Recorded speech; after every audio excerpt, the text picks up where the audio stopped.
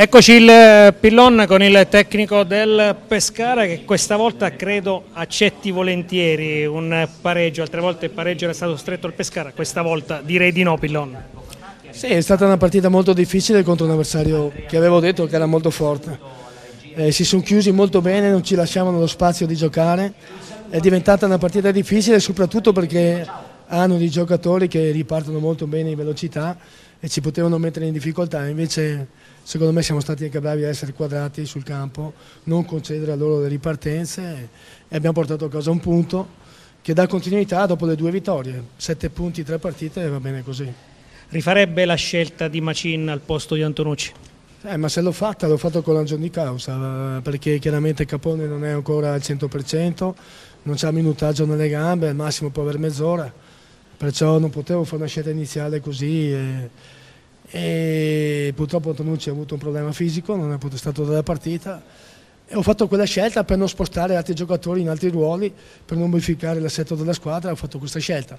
È chiaro che poi alla fine della partita uno dice eh, ma non è andato bene, ma lui ha fatto il massimo di quello che poteva fare, mentre a Salerno giocando in quello aveva fatto molto bene in quella parte lì, eh, stasera un po' meno, però lui ha dato il massimo di quello che poteva dare. Tra i dati positivi della serata anche il fatto che la difesa non ha preso gol, questa difesa che con Scognamiglio, con Gravion sta uh, riacquistando grande compattezza e in panchina è tornato anche un certo Ugo Campagnaro.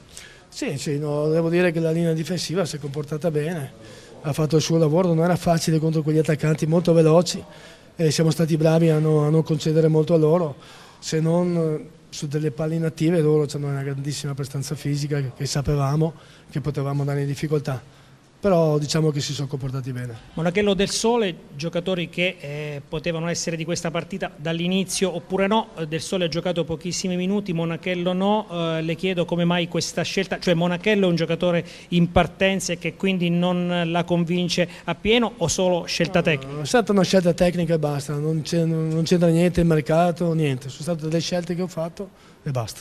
Però questo mercato crea comunque anche eh, inconsciamente dei problemi.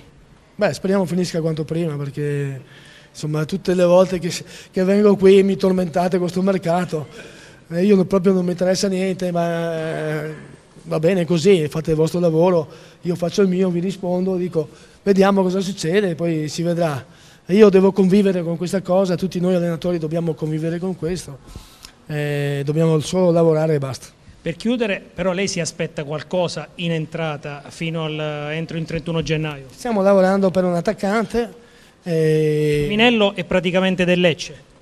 Eh, boh, non lo so, me lo dici Così, così eh, sembra da pochi minuti quasi, quasi fatta per la società salentina. Non lo so, ne arriverà un altro, vediamo, nessun problema.